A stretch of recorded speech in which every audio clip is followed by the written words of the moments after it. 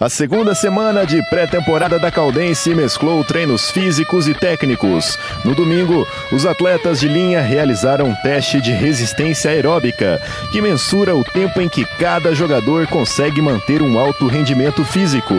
A atividade serviu como parâmetro para direcionar os treinamentos subsequentes. Terça-feira aconteceu uma movimentação com bola e logo em seguida todo o plantel realizou exames ortopédicos. O médico Adriano Torres avaliou as articulações dos membros inferiores dos jogadores, conheceu o histórico de lesões de cada um e passou orientações preventivas.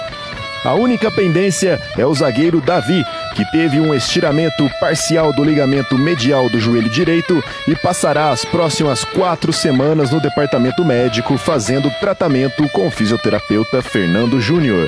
Quarta de manhã, houve um treino em campo reduzido para estimular passes rápidos e movimentação. À tarde, todos foram para a academia dar sequência aos exercícios de fortalecimento muscular.